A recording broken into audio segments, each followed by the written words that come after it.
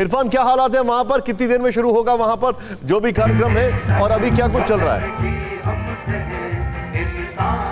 देखिए निशाद मैं बता दूँ, कार्यक्रम शुरू हो चुका है और देश गीत और राष्ट्रीय गान लगातार यहाँ पर कारगिल की इन वादियों में गूंज रहे हैं और तिरंगा आप साफ़ तौर पर लहराते हुए देख रहे होंगे और यहाँ पर मनोबल जो जवानों का है, वो बहुत ही साफ़ तौर पर यहाँ पर उभरता हुआ दिख रहा है और इस बीच तमाम जो यहाँ पर शहीदों को याद किया जा रहा है, उसके चलते विजय दिवस को भी यहाँ पर मनाया जा रहा है।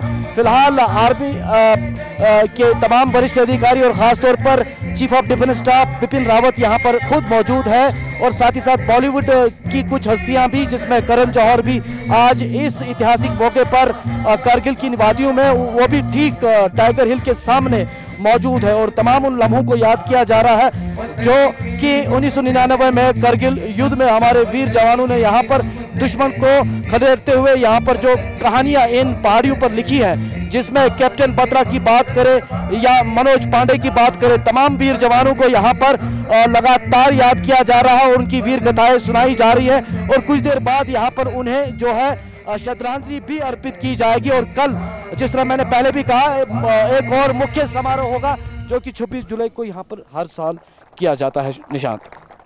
आप जो बता रहे हैं हम देख रहे हैं किस तरीके से वहाँ पर जोश और खरोश से ये सारी चीज़ें चल रही हैं।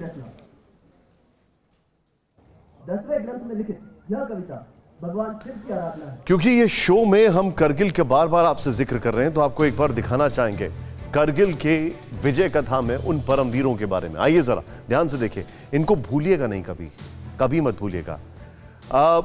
यहाँ पर कैप्टन विक्रम बत्रा जिनके ऊपर अब एक फ़िल्म भी बनने जा रही है आ, और बल्कि रिलीज़ होने वाली है यहाँ पर पाँच अहम पॉइंट्स जीतने में बड़ा रोल रहा है। और वो जो फ़िल्म है वो भी इत्तेफाकन करण जौहर का प्रोडक्शन हाउस से आ रही है। नेक्स्ट एक साथी को बचाते बचाते शहीद हुए। नेक्स्ट चेंज करें इसको यहाँ पर।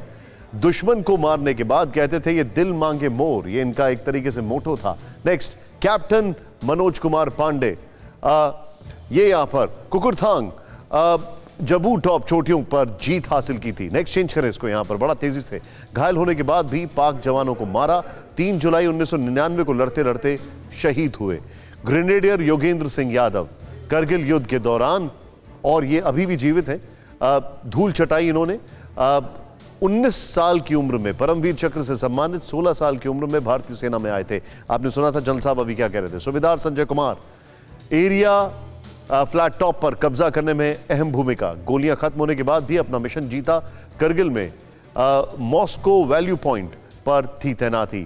फ़िक्र आपकी। सोमवार से शुक्रवार, रात नौ बजे, सिर्फ़ टीवी नाइन भारत वर्ष पर।